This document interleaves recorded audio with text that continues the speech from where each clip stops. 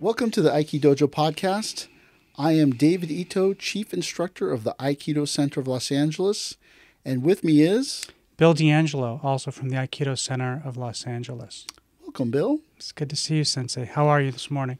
Not too bad. Good. Getting busy for this this month of October. Yeah, the It's end of the year is like it's like a slope. It just gets faster as it gets closer to the end. seems like it. In, in Japanese, the month of December, uh, the Japanese translation is like priest run because they get so busy, and I could totally see that. It's the same thing for me at work. We we lose the last week of November to Thanksgiving. People travel that weekend. Then we lose the last two weeks of December because no one, especially in entertainment, works often the whole month of December. So it's almost as if for many of us, the end of the year is like November 20th. That's not bad. You get No. the, the month of December off. Well, I'm not getting that time off, but my my clients might be.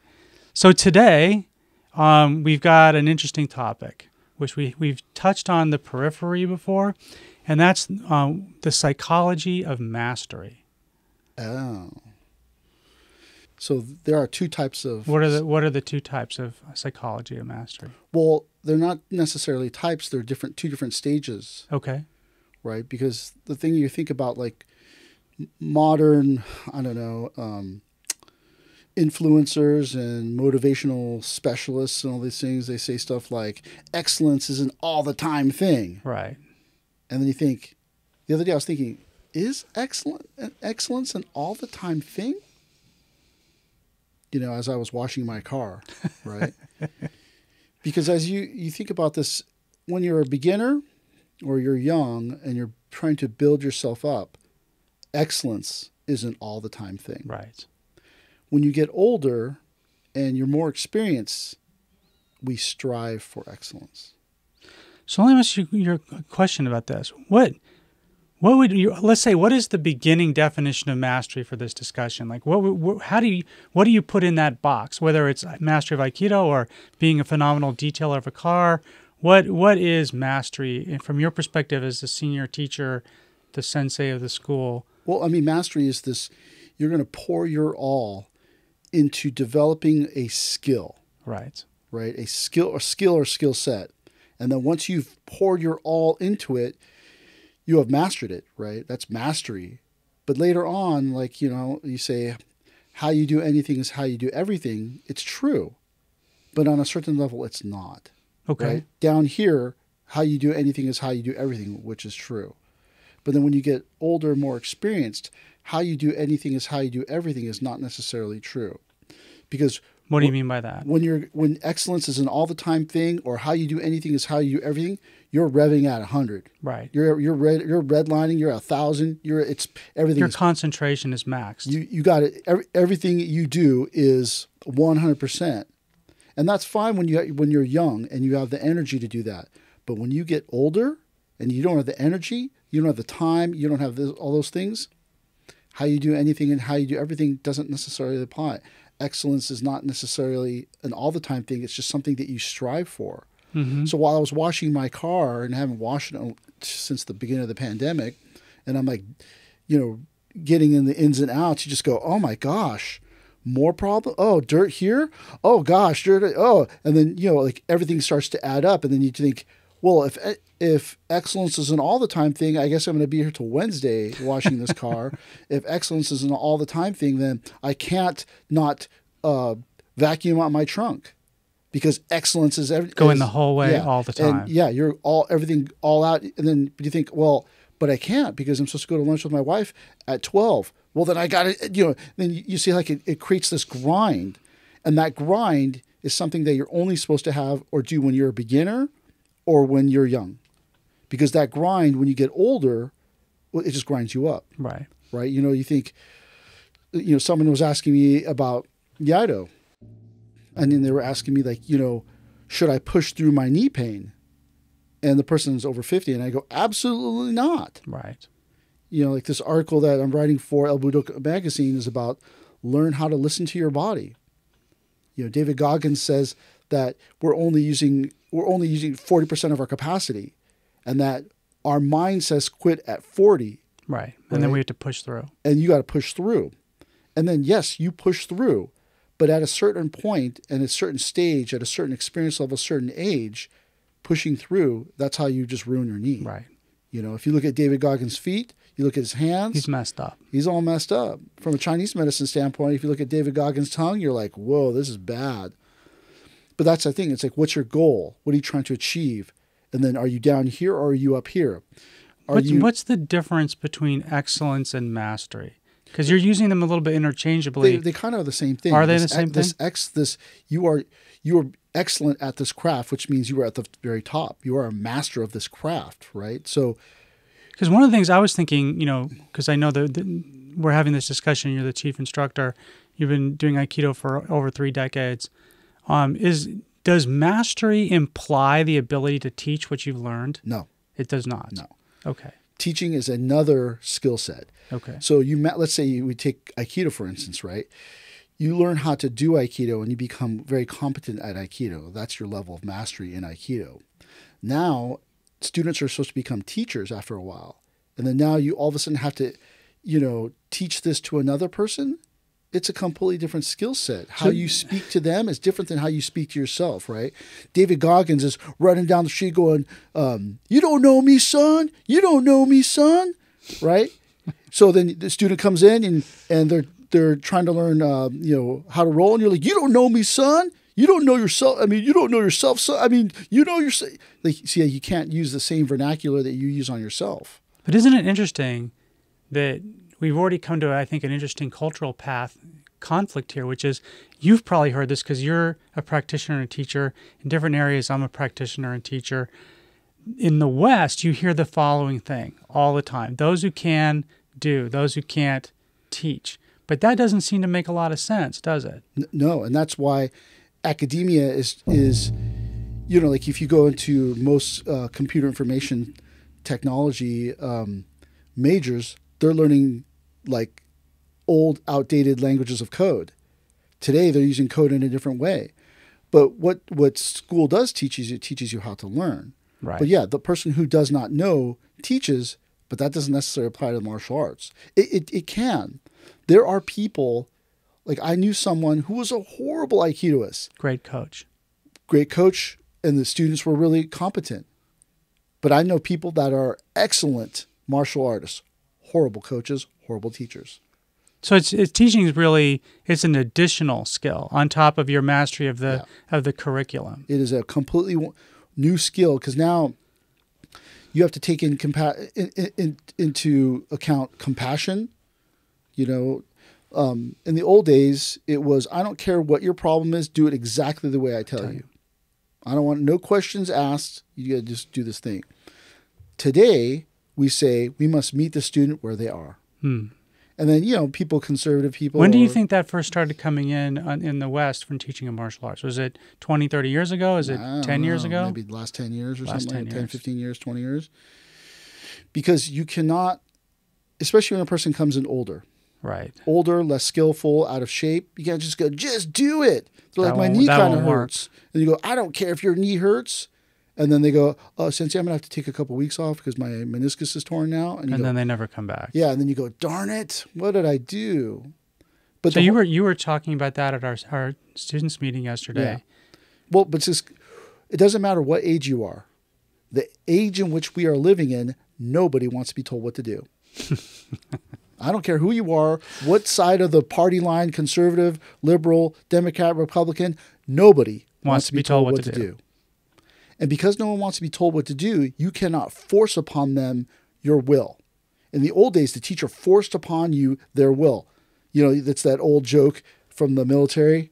This is a test of wills, and you will lose, right? And like, but and today you can't use your will on the student. Doesn't they'll, they'll quit, and so you must meet the student where they are. So you spend this time with the student, trying to figure out what they can do, and then use that as the stepping stone to more skill. So for a teacher, is that a harder paradigm to be in because you have to instead of where the teacher imposes their will, which is basically one person's will controls everything, so it's a simpler system. But if you have to tailor everything to each individual student, you really have to get to know your students. Yeah.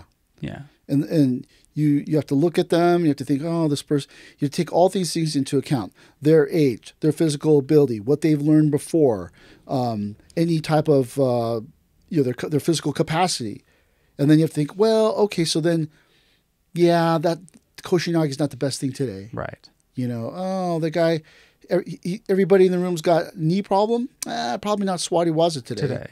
So this brings up an interesting question, which I think we've talked about in the past in a different context. But um, is the way that you're talking about mastery related to the historical difference between the Do and the Jutsu skill set? Yes. Yeah, I guess you could look at it like that. That is a Yeah. good way to put it because jitsu is like, I don't give a crap. Do what I said to do. This will make you good. Right. And Don't then question. You, and then you, as a student, know that this person is a winning um, uh, coaching style. So you go, hi. But the person of today, you're trying to develop them in and out. And so you have to try to figure out who they are. You can't just go, just do it. I don't care what your problem is. The other part I was thinking about this, and I'm interested to get your point of view on this, is when I when that question came to mind as I was preparing for today. One of the things I was thinking of is that we we talk of Do as more about self mastery, mastery over the your your own inner personhood, whereas Jutsu, as you said, it, there is a there is a curriculum of techniques that the teacher is the expert, you're the student, and it's a it's a one way relationship. Where I think Do is much more complicated in a way, right? It, it is, but it's not supposed to be. But that's Okay. the modern age that we live in, right? So jitsu and do, right? Jitsu is really the outside. It's just a physical technique. Right, do is the inner, right? The road that you're really you're really like your intent. going down. It, it's it's the inside of you that, and that's what I was saying before. It's like you, you begin out you be as a beginner or as a young person, you're developing your physical body. Right, So it's all physical. It's all jitsu. But when you get older, it's all do right. for me to finish washing my car to a satisfactory level as I get tired and it's hot and I really don't care, it creates you need mental fortitude to finish. And there may be a point where you say, I'm going to go to the car wash and leave it to the expert. Yes. But I but I'm trying to save money or whatever it is, right? But they you see how like the the quandary became less physical and more mental. Because now you go, man, I spent three and a half hours washing and cleaning my car that I could have taken to the car 30 wash. minutes. Yeah, less than 30 in and out in 22 minutes. Right. And maybe done a better job. Yeah, because they know how to do it. They have the tools, you know, they're they're efficient. But see, that's that thing where every, as you become more experienced or you become older, it, it's all all becomes a, a mental game. So this this brings up another question that I had in preparation, which was, um, how is mastery in Aikido, or for you, mastery in Chinese medicine, um, has it influenced your path of mastery in traditional Aikido? Well, the thing about tr- uh, mastery in martial arts, anything traditional, is that the higher you go, the more you realize you don't know. Hmm. And so me, I mine is more existential. I go, man, I don't know nothing. How do you get? You know, people tell me, oh, I'm a really good teacher. I'm really good at developing people, and I just go, How did you do that? wow. Well, what do you do? You know, or you see someone with, you know, 200 students, and you're just like, how did that happen? But then you look at the students, and you go, oh, he, that person was at the right place at the right time, did the thing. They're a horrible teacher. But also, what you're talking about is, I think, is very interesting, which is at the higher level of mastery, there's still the ability to experience wonder um, yes, at, at things in your practice and, and things in your teaching style. Well, th- you're you're always supposed to be looking for wonderment, right? That this thing where you go, whoa. But that's ha- but that has more to do with this idea of having an open mind. Hmm. That, but we're talking about this idea of mastery, where you I know what to do. You know, patients come into the clinic, and some of them have like these really complicated Problems. situations, and then I spend two hours figuring it out, and then I go, "This is what I would do if I was you," and then they go, "Are you just going to put the needles in or not?" and I go, "I know, but I mean, if you just do this and do this and not Right. eat this, this not and eat this." People don't want to be masters most of the time. Yeah, I would say largely, if the numbers are correct, ninety percent of the people do not want to be want do not want to have mastery over themselves. Right. They all want to have mastery over their situation or their circumstance, but they do not want to have mastery. But over is there. Sensei, is there something specific? Because I can think of it in law, but is there something specific to Chinese medicine and, and your path to becoming a high level practitioner? Were there any lessons along the way? And you're like, oh, I'm going to steal that from my Aikido Yeah, all the time. all the time. Well, I think it's interesting. I mean, to me, like, I, I think there's a lot of crossover. I think like there's a structure to mastery. Like mastery, ha- and I, I've got some notes to talk about that. But I do think that there might be a structure to mastery. And so if you're practicing at a high level in some other thing, and then you look at that and you're like, oh man, that's a. We talked about this before with hacks. Like maybe I learned something here, and it's a shortcut to going two steps up, which normally I would have had to slog through. You think that that it's the case that you would you would catch a nugget here and then that opens the door for every all these things. It is and it is not true. So if you look at someone who built, who bakes a cake, baking a cake and doing aikido techniques are no different, right? So like if you look at this this uh, picture, it says the sword and the lute have the same origin. Right, this, the origin is the person who who has to develop themselves in order to play the lute, this violin. I mean, this guitar looking. Not I don't know what you call this lute, or it's like the standing. I know, like I know you're talking The about. lute and the sword, they have the same origin, which is the person has to develop themselves to use it. to use it, right? Whether it be a sword, a lute, a banjo, tennis racket. So this is maybe stating the obvious, but I'm going to do it anyways. One element of mastery for sure is high standards. Yes. You have to have this unwavering standard which won't allow you to waver from this thing. You know, like when you see, you talk to people and they're like, oh, yeah, I used to train with this person or I used to train with that person. They jump ship. That person's got no standards, Hmm. right? Because they say, I was reading some online um, post where they, they said, someone wrote, after third dan, you can never leave your teacher, which is kind of true. And the reason why it's true is that because that person spent all their time and energy developing you, and then you stayed and allowed Right. them to develop you. So, good, bad, right, or wrong, you got to stay. But then the thing is, you know, when I always talk about this idea that the, the best teacher is the one that's the most unreasonable. Right. They're Right. unreasonable because you cannot get them to teach you the way you want to be taught. So if they're a really bad teacher, you have to train yourself really hard and long to get good. So then the unreasonable teacher made you better. If they're a really good teacher, you're going to have to work really, really hard to get good. So see how like it doesn't It's- matter. It's the doesn't most matter. unreasonable teacher is the one you want, not the one who tells you the way you want it. And so that's why the, today you think about the, the psychology of mastery is really physical and mental. They're the one at the bottom is the physical mastery. You're looking for a really good coach. Turn your foot here. No, you're you're more at 47 degrees. Got to be 45 degrees. 45 degrees, you know, enables you to create the maximum amount of power. Oh, okay. And then you go about trying to get at 45 degrees. But later on, the mastery of that psychology is the thing that forces you to try to f- keep it at 45 degrees because you're you are you're trying your best to make this thing happen. And then somewhere along the line you would just give up. So is mastery, based on what you're just saying, is mastery liberating or is it constricting? that's that thing like when, we're, we're, when we started out talking about excellence is an all the time thing see that becomes very constricting Right. and at the bottom in the beginning it has to be very constricting you can't learn five different styles of aikido at Right. once You have to learn one, One. style. Yeah. right? You know, and you hear people talk about, well, you should be collaborating. You should learn 45 different ikkyos. No, you learn one ikkyo really, really well and then apply that ikkyo to Different 45, circumstances. 45 other ikkyos, right? But that that's that thing. Like you, you want to try to understand excellence is an all the time thing down here, yes. But then when you get up to the higher levels, excellence is really something that you have to strive for because the constricting constrictingness of excellence down here creates no balance. Right.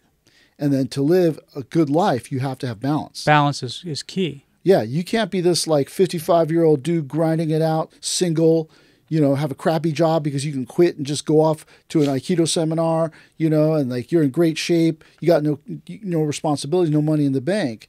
You could do that, but it's it's a really lonely place to live. Right. Having children, having a spouse, having friends, going out to dinner, Maybe having another job. having a job, whatever it is, those things create balance for you, right? Because down here, when you're young and you have time, and that's the best time to constrict yourself, you could be a bit out of, ba- out of balance. But then when you get older, not It having, is liber- at the highest level. It, it's liberating. It allows you to, to navigate all the different complex elements of, of your life. yeah, because when you're sick and there's no one to tend to you, you go, well, was it all worth it? Yeah, I got a beautiful front kick, crescent kick. I got a great iriminage, but man, I don't feel so well, and I wish someone was here to comfort Yeah. me, right?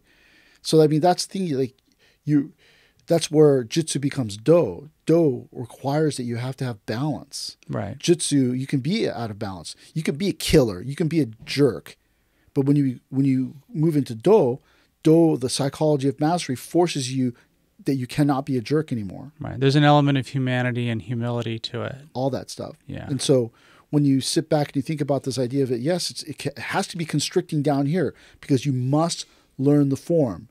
In the shu hari, I was just about Right. to ask that, so you you, you got that. Shu and shu and ha are down here and constricting. Ri up So here. for those that don't know shu Shuhari, can you just do like a 30 second rewind and explain what each of the elements means and then how you translate them into what you're talking about right now? Well, shu is the this idea where you are mastering the form okay. exactly the way it's taught to you. So similar to a jutsu level Yeah. understanding. Ha are teasing out the details, so you know exactly toe's supposed to be pointing here, The refinements. knee over foot, all these different whatever the refinement is, and then so shu ha ri ri is to to break the form, right? In breaking the form, you're not leaving the form, right? That's that uh, shikisoku zeku in Buddhism. Form is emptiness. Emptiness is form. You have to have form in order to create this this liberation, right? So supposedly, um, the uh, Siddhartha is meditating under the Bodhi tree, and a woman gives him uh, uh, milk curds, and he eats it. And those, the students see that and run away, and then he realizes, oh, form is emptiness, emptiness is form. Without this food, I cannot live. Right. That's the form. And then the emptiness is to be able to transcend that. So he runs after the students and gets them back and explains to them Shikisoku Zeku. Form is emptiness, emptiness is form. To have emptiness, you must have form.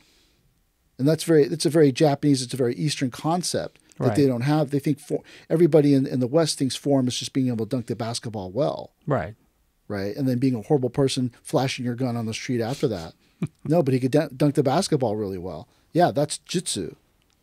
So I, in preparation for today, I read this really interesting article by a, psychologist I'd never heard of before. His name's Albert Bandura. I don't know if you've heard of him, but he has this theory about mastery, which he he puts at the same level with self-efficacy. And he says there's four things of ways you become a master. The first one is mastery experiences, um, which he talks about as like new challenges that you face. Then vicarious experience where you have a role model, like you watch the teacher perform the element. And then the last two, one is social persuasion, where the teacher um, skillfully employs like things like, "Oh, you're doing really well right here," or "No, you got to you need to fix this," and you use like verbal cues to elicit performance. And the last one is, I, I, to me, the most interesting, which is um, emotional states make you open or closed to mastery experiences. So if you're very, very depressed, it's hard to work on your mastery experiences. If, but if you can cultivate an open mind, a balance of circumstance, then you create the emotional availability for mastery. I I just, I mean, I don't know if we had to talk about all four of these things, but I thought they were, they were a nice way to like boundary in this idea of mastery. So, what level do you think you're at? That's an interesting question. I mean, I, I feel like I'm still at number one, new challenges. I, I feel like I'm still trying to get up the ladder uh, in everything that I do. Um, on, on emotional states, I mean, I, I think that I'm definitely at a higher level than I was 10 years ago. I think that I, for me, the biggest improvement has been my emotional foundation. But the other three, you know, mastery experiences, vicarious experience, I think so I think I'm doing okay on the third and the fourth. So social persuasion, I think I have good teachers, whether it's in Aikido or in work. Um, although now that I'm getting in my mid 50s, it turns out like on any given day, I might be the only person who's the expert in the firm. And that's a sobering feeling. Like you're like, when did that happen? But it happened. And now people are asking you, hey, what's the answer to this? I don't know. You're the only person that, you know, on paper should have the answer. And that, that's a that's a humbling experience. Mm. It's hard because like each one it theoretically we are doing all of them Four at, at the same time. All of them at the same time. I myself am more in this the openness idea that not being closed off, but that to, to see the world, see like on a certain level as a martial artist, you have to see the world as being negative and bad, and right? Because you're you. always balancing or preparing for a potentially bad outcome. Because you owe uh, to be to be ready, you have to at least be fifty one percent on. You can never be 50-50. If you're 50-50, you're going to be slept on. Right. Right. If you're 49 um, awake and f- 51 asleep, you're going to lose. You have to be at least be 51% on the ready. And that's where that this idea excellence is an all the time thing. Right. Yeah. And then all of a sudden, you know, you don't you don't wear flip flops. You when you go to Disneyland, you gotta have a gun and a knife. And then like see how like it really starts to create this grind on you right. that you can't excellence is not something that you can do all the time. It has to be something you at a certain level. It has to be something that you strive for. But most people can't understand that. That yeah, because how you do anything is how you do everything, everything. right? We this one thing will show your true level of training. So you go, oh yeah, how you do anything is how you do everything. So like, but then you strive to be how you do anything is how you do everything. To be mindful of the things that you do. But then if you do, if you have the everything is how you do anything is how you do everything mindset or an my or excellence is an all the time thing, how, how do you get eight hours of sleep? Right. But there is a sense from long training that you groove, you, you create grooves, right? Where like you naturally slot in, like on a train track, to certain behavior or preparations. And maybe, and this is a question, does, does, does working that groove over decades make mastery easier when you're older? I used to think it would. But you but don't anymore. As I get older, you go, man, it's all mental. Hmm. It's all mental. It's 100% mental. Like I talked about in one of the last podcasts, David Goggins' book, You Can't Hurt Me. Mm-hmm. It's it's just stories intersprinkled with his the mind games he plays with himself. Right. Right. David Goggins is running down the street going, "You don't know me, son. You don't know." Who's he talking to? Himself. Himself. Yeah. Right. He's he's yelling at himself to spur him, himself forward, right? It's all mind games, right? So you play these mind games with yourself, like like I said, when I'm you're washing the car, and I just got I got like three hours into it, and I'm like, man, I wish I'd have washed this thing throughout the pandemic, right? And then you go, oh, I guess excellence isn't an all the time thing. I, what was I thinking? And then after three hours, I was like, my back hurts, oh, man. And then you want to give up but then you can't because the car will only be half washed. Right. But had you had you lived in the excellence isn't all the time thing, you've been washed from the beginning, right? And it'd be fine. So see how like you have to really ask yourself, what does that mean? You know, you you make your son walk to school in the rain because to punish them because how you do anything is how you do everything. Right. And excellence is an all the time thing. I'm teaching him how to be a man as he's crying and doing soaking all this stuff, wet. soaking wet. You learned a good lesson today, didn't you? And you know, you think that's crazy, but my there's a neighbor in my area. I saw him kind of do that. Wow. And then I always see him and his kid at the park. The kid's hitting hitting balls, crying the whole time. Mm right? I see him riding the bike, crying. I see him walking in the rain, crying. And I think, yeah, I mean, he's making his kid a man at eight years old. Right. 10 years a little early. But I mean, you don't know what the harmful experiences that you're putting into this person's brain. And then that person snaps, right? Because you know, like I was there showing some Chinese kid who was playing basketball and he's like crying and he does a layup and then you know he scores and then they they pass the ball and he has to keep it and they're like, you know, he's crying and all this stuff or or they have this they have this this this famous meme has a Shaolin monk kid crying doing a, a horse stance mm-hmm. holding up a stick and they said curing ADHD since you know 1200 AD and you think yeah I mean yeah Maybe. Maybe but then does that person turn into a psychopath Right. because when they're young you're supposed to nurture them not Well, that's, that's one of the things I like about what you said today, which is there's an element of compassion when you receive or achieve mastery that you're like, oh, I really understand other people's struggles, other people's striving for excellence, and, and the things that knock people down. yeah and then you have the old like tiger moms Chinese tiger moms Yeah. they don't care if you're upset they're giving you a future Right. by pushing you, making you go to school, do all these things and get good grades and become a doctor or a lawyer, even though you don't want to be. right. They're giving you a livelihood and a future. It's for your own good, even though you hate it and even though you hate me, Right. right? Like I had this doctor who in the office, there was all these these paintings around, and I was I go, hey, did you do these paintings? And he goes, yeah. And he he was a friend of the dojo, right? His son went to dojo. He was the worst doctor, but the, the, the it was a really Great painter. great painter, but I mean, really nice office, state of the art, and everything. He didn't look up once from the keyboard. He misdiagnosed me three times, and I was like, "This guy's an idiot." But then I thought, "Oh, he's just a painter who's pretending to be a doctor." Yeah. That's Right. tough. Yeah, and that's and that's the hard part about martial arts today. Martial arts teachers are martial arts teachers that are pretending to be businessmen, or businessmen pretending to be, Be martial, martial arts. teachers. There's So not. thi- this this brings up, I think, was my biggest question I was holding in reserve, which I know we've talked about before, but I think we can give it a bigger send off here. There is, I think, there has been historically, whether in ancient Greek culture or 19th century England, or even sometimes maybe in more fatalist philosophies, that talent is more important than effort.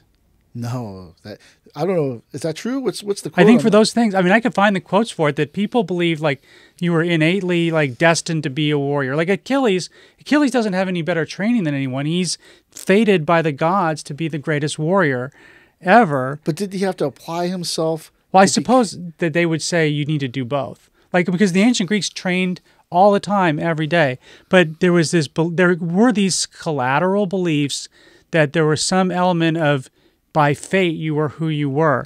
And I wanted to bring it up because you and I have had offline conversations about this. Yeah, no, you- you're not wrong. Some we are fated to be who we are. He, the, uh, Achilles is fated to be a warrior. I'm fated to be an aikido teacher. We are fated to be who we are, but the effort, the the hard work is who makes us who we are. Right. Right. And that if if you know if you look at some of these uh, traditional martial arts in Japanese, uh, dento dento ryu. Dento means like traditional tradition. Like these people, there are people in Japan that are certifying ranks that don't even have any skill in the rank, but they just have to have, be born into that family, and they just rubber stamp these ranks. The sokeis. yeah, Yeah. and then the the, the art that the art only continues as a familial thing, but n- not through the actual physical movement Right. right? And if we if we if we say things are, I mean, things are we there is this idea, you know, you know like amor fati, you know, to love fate, and that's the way it's supposed to become, right? My my my parents treated me a certain way, which causes me to be Use this it. way, and that this is that was the impetus for this, right? And then we look only when we look backwards can we see, oh yeah, That makes sense. when my dad beat me up or my this thing happened that girl said no at the prom those things made me who i am today oh only when we look backwards looking forward you just go life sucks Well, I know that you're you're a kinesiologist by training. yeah college. Um, I need to find this article and send it to you, and we should even post it. There's a recent article that was done on elite athletes, Mhm. and what they found was there was not a good historical correlation between the people who were at the top of their sport in high school with being at the top of their sport at the professional level yeah and that they that that early jump declines as people train and develop their effort. And truly, people who were middle of the pack in high school can end up being gold medalists in their discipline as yeah, adults. Yeah, yeah, no, I mean, if you all you would have to do is look at the NC2A MVPs and then lay that over uh, NBA Later success. late success in the NBA. Not there. Yeah, Michigan's Mateen Cleaves didn't even make it in the NBA. Um, there was a guy on the Lakers. I can't remember. He went to Gonzaga. Um, Was it was it Lonzo? no, No, he made the NBA. he, they they made the NBA and they're pretty good. I hated them in the beginning, but maybe they're not too bad. But like, um, but there was all these people that were MVPs in the NC2A tournament. And they burn out. they didn't burn out. They didn't even make it. Right. They get surpassed. Well, because some of it, it's they were on a good team, which created the opportunity for them to be winners. Right. They didn't necessarily excel over these people, Other people. right? So I would say largely, I, if I if I had to guess, eighty percent of the people that are become MVPs in the NC2A don't go on to the NBA. Maybe. I mean, you have. Um,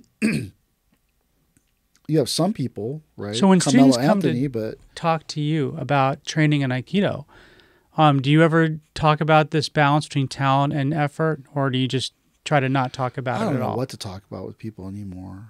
I used to I I used to sell it to them because I used to be good at sales. hmm So I listened to them talk and then I You figure out. re-talk it in the way in which s- sells it to them. Right. But then those people never last, right? I, I don't know what to tell people. Hey, you know, you want to be a better person? You want to be a killer? You want to be this? You want to be that? Like most people aren't looking for those things, right? And so the hard part is that it's not. It, really, honestly, has nothing to do with talent. Talent only goes so far. You know, you really should feel sorry for the natural. I know tons of people that were black belts before me you know, or black in a, in a black belt class before me that were so talented, don't do Aikido at all anymore. Wow. They didn't have the longevity. They didn't, you know, and, and then everyone, you know, says stuff to me like, "Oh, David thinks he's so awesome," and you know, I was way better than David. You go, yeah. The only thing that David has is determination, Sticking to it. stick to itiveness, right? So, I mean, mastery it, to a certain extent, mastery has a huge perseverance twinge to it because you you got to be able to get over all the little bumps and bruises and trials and tribulations and so mastery mastery is a dare i say a mindset but it's something you strive for right? But if we tell people strive for it in the beginning It's overwhelming. well no laziness might come in and then they just quit because they're still hey i'm still striving for it drinking beers. Come i'll come back to it but yeah they no you got to come every day. And that's why when Furuya Sensei was was alive he's like you have to come every day and i was like oh i don't want to come every day and mind you I, we, I talk about this all the time everyone thinks oh david went every day i did not Did not. I was the most lazy student. But what I have is talent. My my grandparents and my aunts were like famous Korean dancers, right? And so you have that in your DNA. Right. But what where would I be today if I really applied myself? Oh man, I'd probably be much better than I am. But you think you didn't know it you didn't have the the mind the mindset to strive towards mastery Right. right? And that's the hard part. The technique, ability, capability, it comes and goes. But the thing that never changes is your mind. And so that's why you have to constantly be hardening your mind. Your mind is the battleground. Yeah. Should I go to class today? Uh, I don't know, man. Oh, Pawn Stars is on. I'll just watch that. So there, there's this one quote I ran into in my various researches for today, and I think it, it kind of captures what you're saying, which is mastery is a way of taking control of your life. Yeah, I mean, Because you were just saying, you were Yeah, just saying like, yeah. well, I don't know if I want to go to class today, but if you're on the path to mastery, you're like, I need to take advantage of every opportunity. well, like you know, I was thinking to myself, as Nietzsche would say, "What doesn't kill you makes you stronger." Right. which is true, but that doesn't mean you won't be sore as hell the next Right. the next night. You can't sleep because the other day I was like, you know, whatever doesn't kill you makes you stronger. Because I always do this like five mile hike Right. behind my house, and I was tired, and I go, well, what doesn't kill you makes you stronger, and then I did it, and it was no, you know, I was able to get through it, But then in, that night, You were miserable. I was so miserable because my hip was so Yeah. sore. I couldn't sleep. And I go, well, I guess what doesn't kill you uh, makes you stronger, but you also might be super sore, right? But so like, see how like using that mantra, what doesn't kill you makes you, str- what doesn't kill you makes you stronger down here really drives you forward. But up here, you go, you know, I got to listen to my body, right. you know, and so that's the harder thing. It's like, yeah, what doesn't kill you makes you stronger, but then it blows out your knee. Right.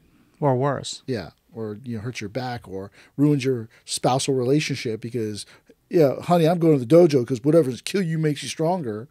Then your wife goes, I want a divorce. So I want to I want to run uh, a paradigm by you and see if it resonates with you. And if it doesn't, we can just chuck it. So another thing that I that I came across was the difference between mastery goals and performance goals. And this is this is what the psychologist had to say about this. That mastery goals involve improving your self-knowledge or your skills. They tend to be long-term focused and they're ultimately about achieving aspirations. Whereas a performance goal usually is like comp- competition based, so it's relative to others. It's short term, meaning if you run that 9.3 100, you don't necessarily have to ever run it again. Um, and um, it's it's often success as part of a team or success as part of a company rather than self focus. I was just curious, did, do any of those ideas resonate with the way you think about mastery? I no, I mean, I don't really. think. I mean, I do think about performance goals now that I'm older. But Mhm. before I was just uh, before I was the what doesn't kill you makes you stronger. Got it. I'm not a wimp. I don't care if I'm tired. I don't care if I'm on vacation. When when I went on vacation, I still did cardio every Right. day on vacation. I still woke up at 5:30 in the morning, did cardio for an hour or two before everyone got up, because I'm not going to get beaten by other people, right? Right. But like, so when you think about this idea that performance goals create are the small steps of mastery goals, I right? like so that like idea. you go, I'm gonna. I'm going to go to the dojo every day for 100 days. That's a performance goal, Right. But you're doing that to get to force yourself to have discipline. You're doing that to force yourself to, you know, do something which creates this mastery goal. Right. The, that's just the hard part that, you know, not unlike. So you see them as working together rather than being separate. Yeah. Well, I mean, you, because remember, it's all, it's all mind game. It's, this is, everything in your life is a mind game, right? And performance goals enable you to stay in the game because you say to yourself, I'm only, I'm going to run to that telephone pole. And then you're running, you're tired, and go, okay, Uh, one more I'm- time. okay, one more time. That those are performance goals. But by doing that, you're forcing yourself toward mastery, right? Because your your goal was to run a run a 5K or 10K. or So in something a like martial art that has no competitive component to it, what do you see? Uh, you know, looking at students coming up the ranks, or or teachers, you know, coming up the teacher ranks. What are performance goals that you look at to evaluate yourself and others? You know, non-competitive martial as a arts. teacher or as a practitioner. Both. I mean, as Maybe prac- one first, the other one next. as a practitioner, like the smoothness of my movement, to catch the timing, you know, what's you know, how does my body feel? Right now, I'm I'm I'm long time chronically injured, right? I, I have Like all of us in our yeah, I mid mean, late forties, early fifties. I have two separated shoulders that it was fine until you got old, and then now their arthritis is coming in, Right. right? And so rolling is much more difficult. Break falling is even harder. But then to not give up, right? That's that's this mastery goal to not give up, to find a way around it. I mean, every night, and I'm not even lying. I would say every night, five to seven days a week, I spend two hours stretching, massaging, oh God. working out my neck, my shoulders, my knee, and all these things to stay limber enough to do these things. Right. right? Self care. Yeah, I mean, because you're trying to figure out, as a practitioner, you think, okay, the metric is, can I throw this guy down? Right. Right. You have this one person in the dojo you can't throw down. Right. So you you know you you're throwing them down, but then in order to throw them down as you get older, you just have to become rougher, and that's not the point. The point is to become smoother, softer, effortless. Right. But in order to do it, you got to rough them up a bit. So like that that's what people kind of use as their metric, just uh, you know, as a performance goal. Well, I like what you're talking about in this self care because I remember you and I had a conversation. I think I'm pretty sure it was offline, and we were talking about inspirational teachers, and you mentioned how Itsukunuma Sensei is.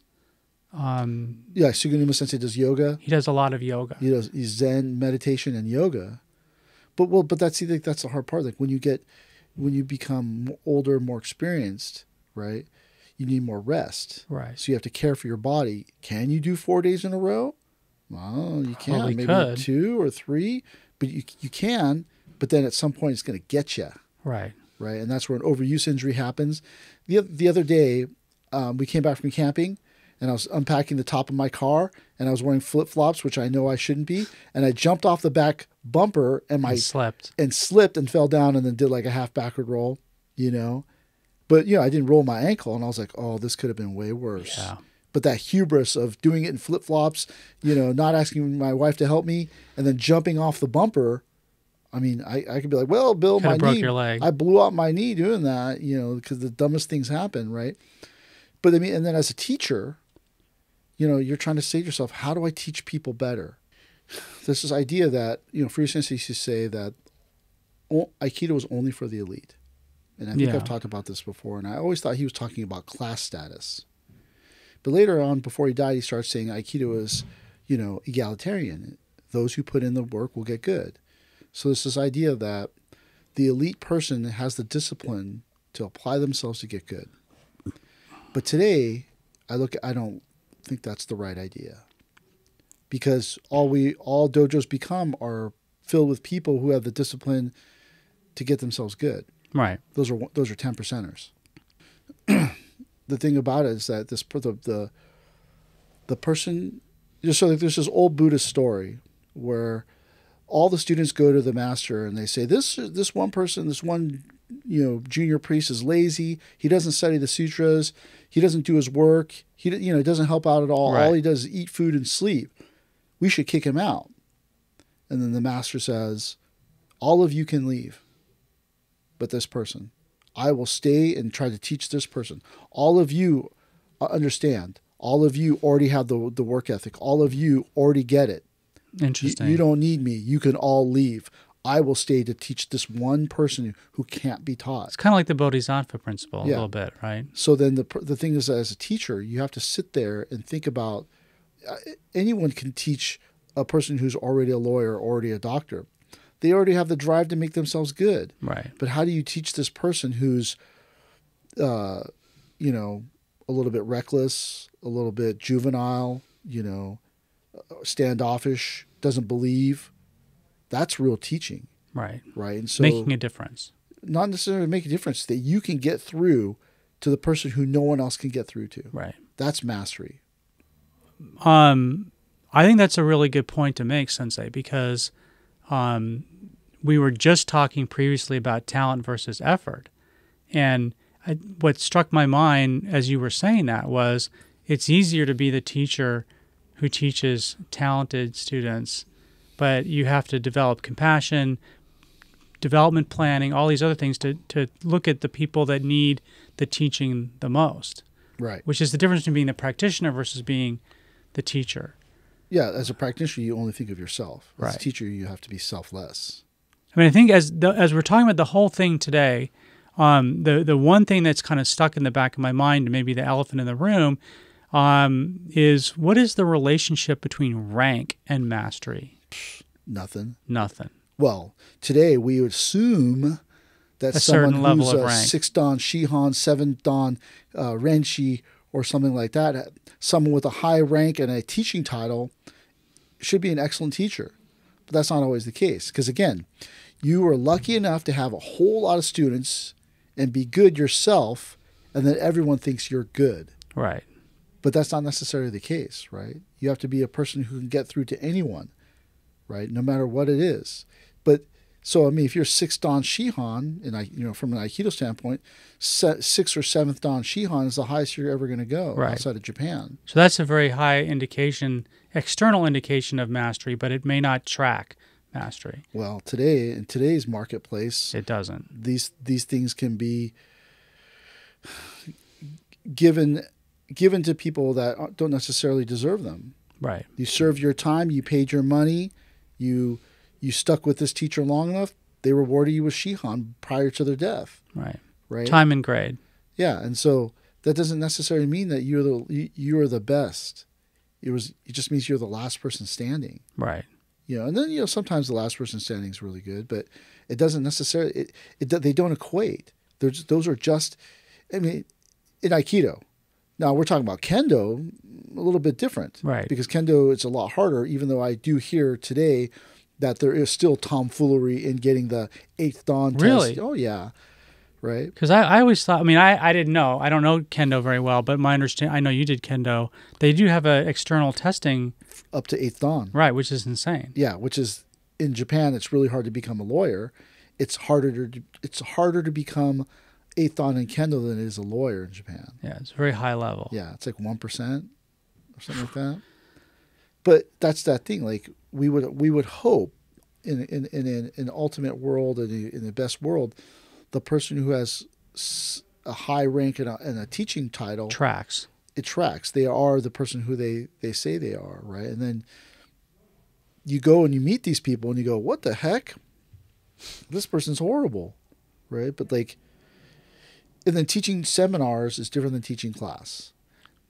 There's there's embu or demonstration aikido, there's teaching aikido, there's you know all these Practical different yeah. Aikido. So I mean like uh, uh, you see some famous person teaching aikido at a seminar, that may not be how they really teach Right. right? Because there's 2,500 people in the room or 200 people in the room. You can't go around. Yeah, you're person. inspiring versus transmitting, Yeah. kind of. Yeah. But that's the thing. Most people think, oh no, I'm teaching everybody in the room. Nah, I don't know about that. Especially like if Doshu or Dojo Cho comes and they're trying to teach everybody to be on the same page as standardized Aikido. It doesn't work because you look around the room. No one's most doing of these it. people are doing their own thing, Yeah. right? And then, then Aikido becomes watered down, right? Because the people don't have a master's mindset. Everyone's jumping straight to Do. They never go through Jitsu. Right. right? And then because you never went through jitsu, that aikido is just this phenomenal, you know, Spiritual. esoteric spiritual practice. And then your student goes off in the world, gets mugged, can't use aikido. Right. Like there's a student here, a friend of hers said, who's a high level aikidoist.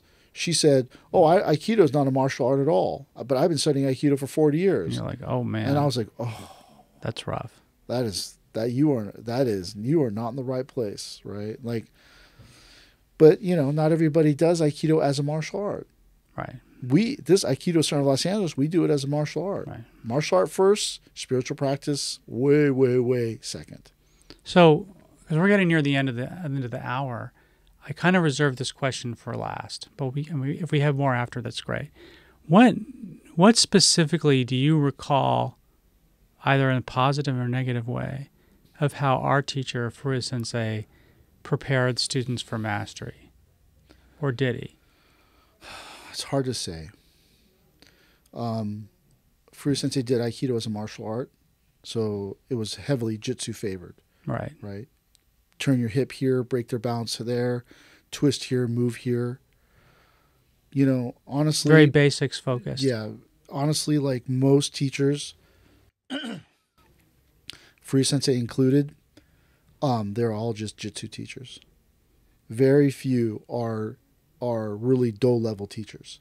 And re- the reason why I say that is because the teacher must reflect back on student a better version upon themselves. Right. So when you look at the teacher, you see a better version of yourself, right? And then Wow. so when you're you're uh, under this teacher, you know, like I was at some school in Colorado, and the guy goes, "Yeah, I go to strip club with my students," and I was just like, "What? like that is crazy." Or the one guy said, "Oh, the the best thing." This other dojo I went to, this teacher said, "The best thing about being an Aikido teacher, oh, you always have someone to date." And I was like, "Whoa, dude! Like, you know, don't say that to me." And I lost all respect for that person Yeah. right? Because I personally want the person to be a Do level teacher. Now, Furuya Sensei was on a certain level a Do level teacher, you know, but on a certain level he was not. Right. Because you have to stay with the teacher long enough, train hard enough to get to that level where the teacher starts talking to you about the inner aspects of Aikido. Right. And only when right the reason why I say Furuya Sensei was and was not is that only when he was right before he died did we start to discuss inner Aikido. And you know, I'd been already st- studying Aikido with him for like 17 years. Right. And then all of a sudden, yeah, we got to start talking about the inner aspects of it. you know, uh, I was having lunch with Kojima Sensei, Reverend Kojima from Zenshuji Soto Mission, and he told me that the teacher can only develop you 50%. And then you use that other 50 that 50% to develop your the other 50%. Interesting. And so you if the teacher can only develop you 50%, that's all jitsu. Right. They teach you to have the mindset to develop yourself physically. And then you use that same mindset to develop yourself mentally. Mentally. So if you go out and the teacher is a horrible person, they never got to the do level teaching, right? But if that if your teacher is living the way, that's a do level teacher, right? And that's the thing I strive to be. Like I think, oh, I'm not. I yell at someone, right? You're driving, you get all upset, you go, I'm not that person. Right. But that that's the hard part. Like, you know, Furuya Sense and I talked a lot about technique. And I'm like one of the few people he, that he would say, What do you think about this technique? What do you think is the mechanism? Are they doing that in Japan? Who, who have you seen do that? And you know, even when he hated me, like he'd be mad at me, we'd be sitting there watching a video, and then he would say, Is that the way they're doing it in Japan? And I would go, I, I don't know. And he goes, Yeah, hmm. I think this person. And I go, Well, I saw this person. Yeah, I saw that too. You know, and you're like, He totally hates me, and he's asking me these questions. But I don't know of other people that he discussed technique with. Right. And then later, later on, like that that year before he died, is the only time he really started to talk about life. And he- Interesting. you know, and then he dies. and so you miss. You wish I wish he was alive so I could be like, hey, this thing's happened, and Sensei, what do I do? Right. But it, you know, he's gone, my mom's gone. You're on your own, and so you that fifty percent that your teacher gave to you, you know, must use that Right. you have to yourself. capitalize on it. Yeah.